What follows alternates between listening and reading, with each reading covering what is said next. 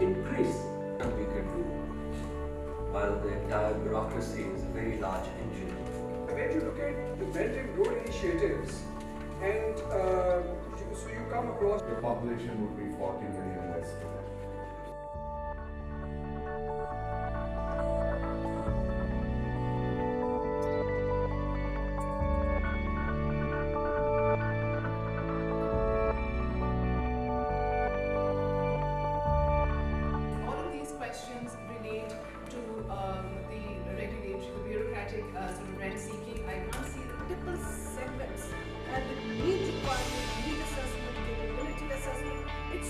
Dynamically